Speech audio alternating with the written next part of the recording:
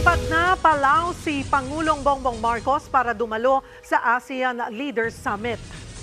At live mula sa Vientiane, Laos, nasa frontline ng balitang yan si Maricel Halili. Mase, dumating na ba riyan ang Pangulo?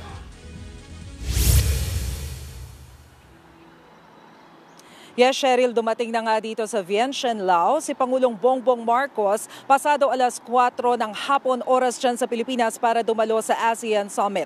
At sa unang pagkakataon, hindi si Vice President Sara Duterte ang itinalaga niya bilang caretaker.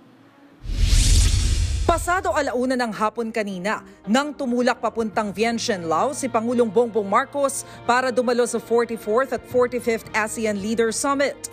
Connectivity and Resilience ang tema ng summit ngayong taon. Kaya kabilang sa mga inaasahang tatalakayin ay mga issue sa pagkain, enerhiya, seguridad, trade and investments at climate change. Pero sabi ni Pangulong Marcos, titiyakin niyang pag-uusapan din ang problema sa West Philippine Sea. Yun nga lang, hindi sisiputin ni Chinese President Xi Jinping ang ASEAN Summit. Kahit si US President Joe Biden, hindi rin daw makakadalo. I intend to champion our advocacies in promoting an open, inclusive, and rules-based international order and for the peaceful resolution of any disputes in accordance with international law. Bukod sa agawan ng teritoryo, mainit na usapan din ang sitwasyon sa Myanmar. Pati ang gulo sa Ukraine at Middle East kung saan may mahigit 40,000 Pilipino ngayon na naiipit sa gyera sa Lebanon at Israel. Wala naman daw nasugatan. Pero pahirapan ang repatriation sa mga OFW na gusto nang umuwi.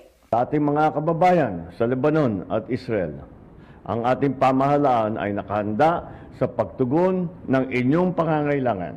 We hope that you will avail yourselves of our repatriation program while flights are available.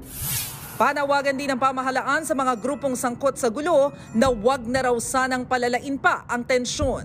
The Philippines urges all parties to refrain from escalating the violence and to work towards a peaceful resolution of the conflict. The Philippines will always stand for the principles of international law and the safety of Filipinos in the Philippines and overseas.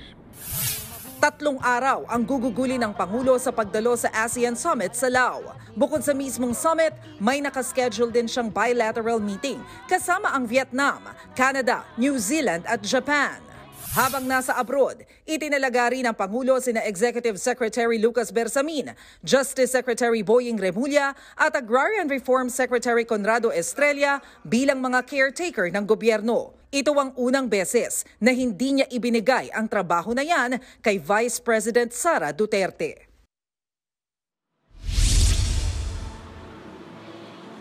Cheryl, una sa agenda ni Pangulong Bongbong Marcos ngayong araw ang pagharap sa Filipino community dito sa Lao. Mangyayari yan mamayang alas 8.30 ng gabi oras dyan sa Pilipinas bago siya sumabak sa opening ng ASEAN Summit bukas ng umaga. Cheryl?